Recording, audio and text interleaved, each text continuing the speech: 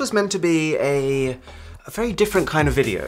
I've been hearing a fair bit of talk recently about rugged smartphones. A bunch of phones which supposedly have ultra endurance, extreme strength, and hyper connectivity. I saw a bunch of stuff like stop buying breakable phones, rugged phones are cool now. I saw the best rugged phones of 2021.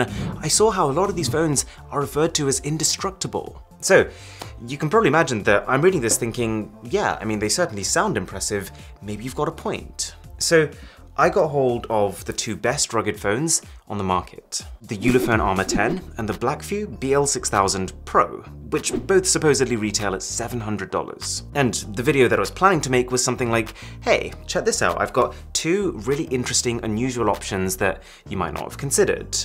But as I actually started to use them, something dawned on me. Like, let's take this Ulefone. On the surface, it's pretty well presented, the phone's on top, and you do get a glass screen protector inside, which is a really nice touch. But the first red flag comes when you look at the quality of the cable and the charging adapter. This thing is 18 watts, but it just feels cheap. It does not scream $700. And while yes, I mean, it's 2021, at least we get one, charging is far from the only issue here. See, I remember looking at this phone's webpage thinking, this is amazing, it does so much cool stuff. But if you really break it down, this is just good marketing. The actual spec sheet of this phone is kind of appalling. You are getting a 64 megapixel main camera, yes, but it has no optical image stabilization, it takes ages to actually snap a shot, and let's be real, in 2021, you can get a 64 megapixel main camera on a $250 phone. And every other one of the sensors on this thing are extremely weak, at just 8, 5, and 2 megapixels. And the display is Honestly, I don't I don't even have words for it. It's got bezels that make it look like something out of 2017, but more importantly, its 60Hz 1080p LCD panel inside of it makes it feel like something out of 2013. I mean, sure, it does have a nice high capacity battery. That seems to be a theme on these rugged phones in general. But apart from that one thing, it's it's almost just confusing how poorly equipped this is compared to other $700 phones, like the Xiaomi Mi 11. And again, with this Blackview phone, you look at the website and you think, wow, this has everything. But it's actually an almost identical spec sheet to this phone, but instead of a 64 megapixel main camera, you get 48. Also, for some reason, both of these are claiming to be world's first 5G rugged phone. How does that even happen? Did they like coordinate launches so they release at the exact same minute, so I guess they could effectively be joint first? I don't know. But what I do know is that if you are enjoying this video, then a sub to the channel would be divine. So, what is going on here? Are we actually paying nearly three times as much money just for the sake of having better materials? And are these actually better materials? Well, if you take a look at our $250 Poco X3, you get glass, aluminium, and then plastic. What do we get on this Blackview phone? Well, glass, aluminium, and the truly exquisite rubber. I know. But do you want to know the funny part of this is that the glass you actually get on the front of this phone is Gorilla Glass 3. The glass we get on the cheap phone is Gorilla Glass 5. This Ulefone does seem a bit better. Instead of just rubber, it's got a little bit of metal in it too. But you see why I'm having a problem with this, right? It's not like they're being wrapped in a sheet of diamond for unrivaled protection. We're talking about rubber and cheap metal. You could literally make a whole phone's worth of those materials for a dollar. In fact, isn't this just a bit like paying three times as much money just to have a massive case on your phone? But just a case that you can't actually remove. And a case so large that your one phone becomes effectively the thickness of two phones. This thing weighs 328 grams. So, there's only one way to find out. I bought my own cases. I bought the cheapest rugged cases I could find. I mean, just look at this thing. They couldn't even come up with a brand name, so they just called it Case. And so I got two affordable phones, the Poco X3 and the OnePlus Nord, and applied them to those. And so we're about to see right now, are these rugged phones actually more durable? Okay, welcome to my uh, factory of destruction. So we've got six tests, and the idea is that each test is going to be more brutal than the last. So we're going to start with water, because in theory at least, water should be one of the things that these rugged phones are like particularly good at. Like both of these rugged phones come equipped with not just an IP68 rating, which means immersible, but also an IP69K rating, which basically means the ability to withstand not just high pressure, but also high temperature jets of water. But this test right here is just the equivalent of like dropping a phone in a toilet bowl. Let's just quickly check. They're all fine. So let's move on to the second test. I just held up three fingers. So let's move on to the second test. I've got a hose and we're gonna turn it on maximum power for two minutes. It's not quite an extreme high pressure jet, but it's close enough. It's as close as any normal person would get in any normal kind of day. It also just happens to be about 50 degrees Celsius water, so, you know, it's also pretty hot too. All right, let's have a look if they're okay. Okay, rugged phone number one is fine. Rugged phone number two is absolutely fine. Okay, OnePlus Nord is fine. And the Poco X3 is also fine. But what about scratches? Well, I have got just the tool for that, a cheese grater. No? Too cheesy? So this would be a pretty good way of testing how resistant these phones are to damage from metals. So coins, keys, that kind of thing. We'll start with the rugged phones. Oh God.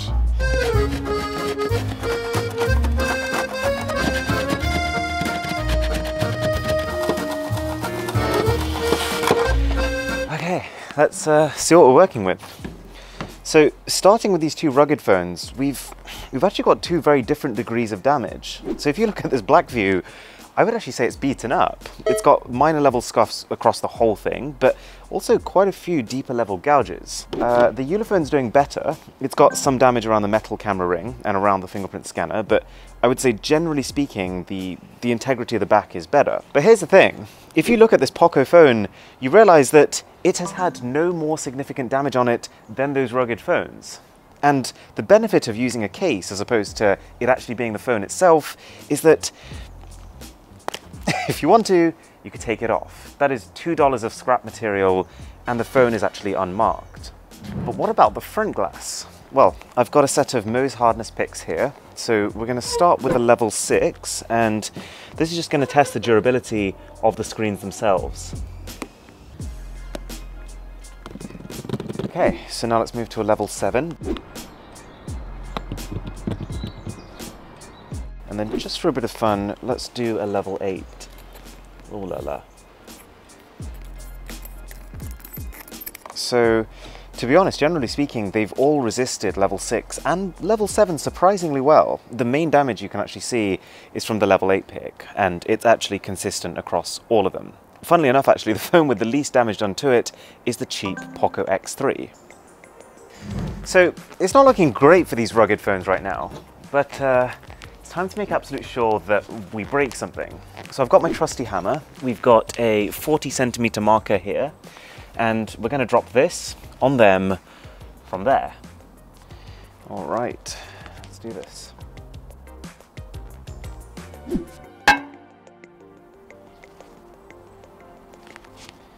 It's actually pretty impressive. Ooh, the glass is cracked. Interesting absolutely shattered. Okay, phone number two.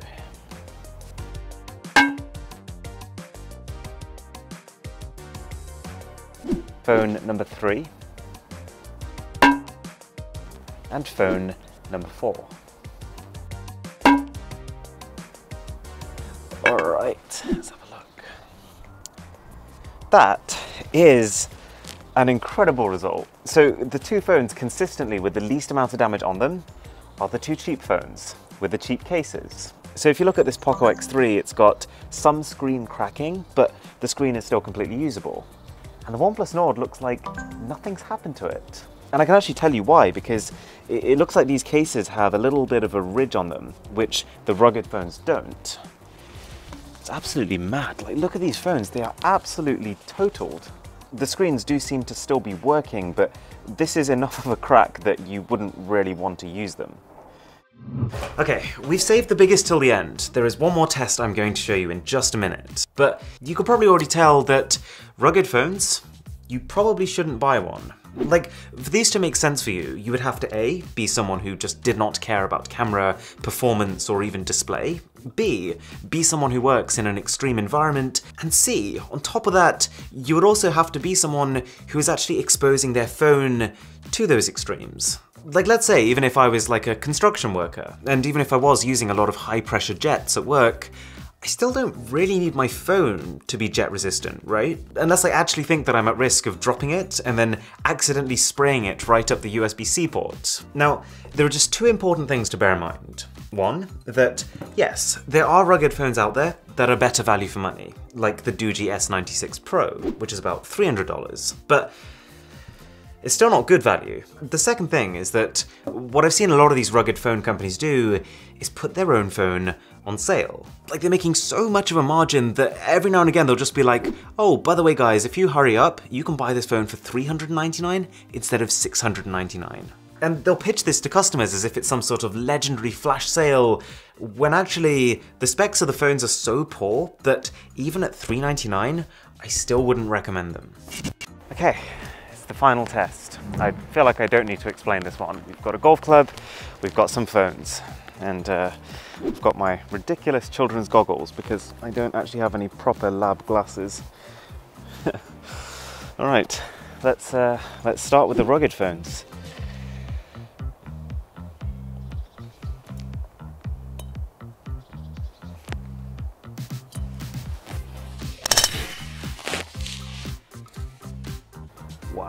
Okay, now this is the Ulefone.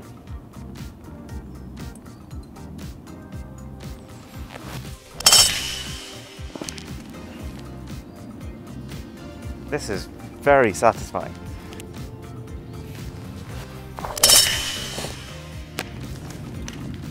Okay, it flew straight out of the case, and I'm pretty sure into three parts.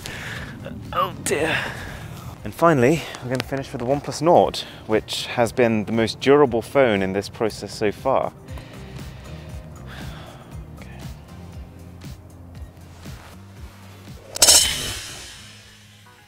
Oh my goodness me, that was a lot of pieces.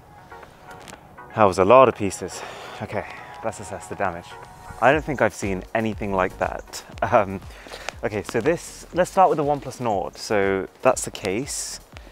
Uh, that's the other part of the case. Uh, oh my God. So this is part of the phone. That's absolutely unbelievable. I wonder, I wonder if the battery's exploded. I think the point is, is that a normal phone, even with a rugged case, cannot survive that. Okay, what about the Poco? So this is the screen. Uh, sorry, this is the case. This is the screen, by the looks of it. Oh my lord. It's absolutely destroyed. Again, that, that is a new record for this channel. I think the phone went over here. This is what's left of it. Interestingly, the, the plastic on the back is completely intact. And then that's the inside. And again, there's a mysterious battery disappearance. I can see the two rugged phones here as well. So this is, oh my God. This is the Ulefone, um, technically still in one piece. So I suppose if you do accidentally hit your phone with a golf club, a rugged phone will probably survive a little better. But if you look inside, you can see the entire circuitry. It's, it's done, yeah. And then this right here is the last rugged phone and it's the Blackview. Somehow you've actually still got a slight backlight going for the LCD screen. But uh, yeah, I wouldn't, I wouldn't recommend using it in this state. Okay, if you enjoy my general style of videos, you will almost definitely like Brilliant. The way I would describe it to people is as a way to make yourself better. Just sharper, faster, more knowledgeable you just pick a course. It could be storytelling, it could be coding, it could be the science of logic. And it teaches you all the key concepts of them in a way that really makes you wonder, what were my actual teachers doing? I've actually been doing this one all about how search engines work. And it's kind of like you're learning it without realizing that you're learning it. Like one minute I was solving puzzles involving Sherlock Holmes, the next I was answering questions about playing cards, and then all of a sudden it's like bam, chapter complete. And I had this moment of, whoa, I actually understand it. So I've left a special link in the description for Brilliant, and if you do click on that, it will really help to support this channel. It's free to try, and if you do decide to go down the premium route, then this link will also give you 20% off the normal price. Okay, thank you so much for watching. My name is Arun, this is Mr. Who's the Boss, and I'll catch you in the next one.